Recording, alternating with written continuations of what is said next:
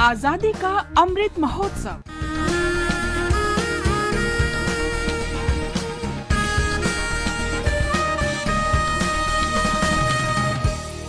Azadi Ka suffer with AIR News. Birth of a nation. India's glorious freedom struggle is one of the greatest struggles the modern world has ever witnessed. AIR News brings you a glimpse of the struggle every day. Bande,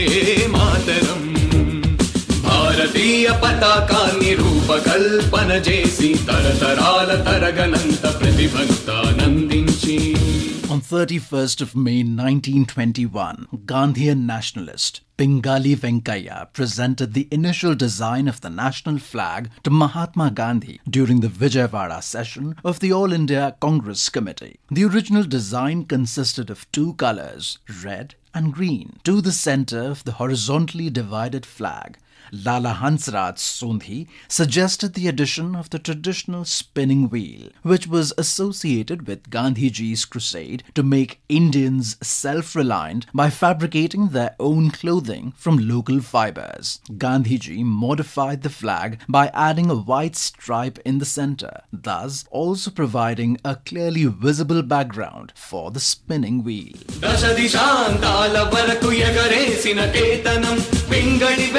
దశ దిశాంతాల వరకు ఎగరేసిన కేతనం పింగళి వెంకయ్య పేరు తలచి చేసే వందనం భారతీయ పతాకాన్ని రూపకల్పన చేసి తరతరాల తరగనంత ప్రతిభంతానందించి The flag came to be associated with nationhood for India and it was officially recognized at the annual meeting of the Congress Party in August 1931. At the same time, the current arrangement of stripes and the use of deep saffron instead of red were approved. During the Second World War, Subhas Chandra Bose used the flag without the spinning wheel in the territories freed by the Indian National Army. Post independence, a national flag committee under President Rajendra Prasad replaced the charkha with the Ashok Chakra.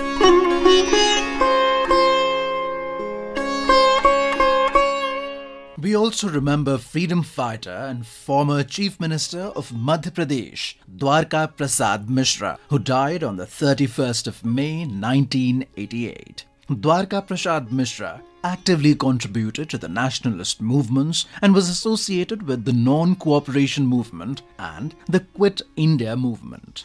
Dwarka Prasad Mishra was born on 5th of August 1901 in Unnao district of Uttar Pradesh. In the year 1920, Dwarka Prasad Mishra jumped into the freedom struggle on the call of Mahatma Gandhi. He joined the non-cooperation movement and remained in the front line of the nationalist movements. He served prison sentences during the years 1932, 1940 and 1942. He became a minister of central provinces in 1937 and 1946.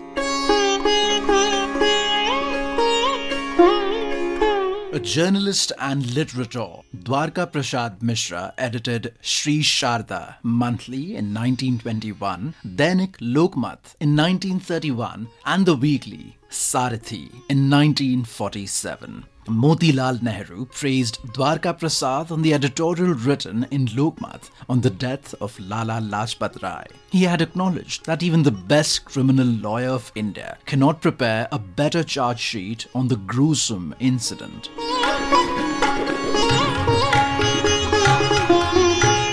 After independence, Mishra was elected to be the Chief Minister of Madhya Pradesh twice. He remained committed to the welfare of the people till the end. We salute the great Indian.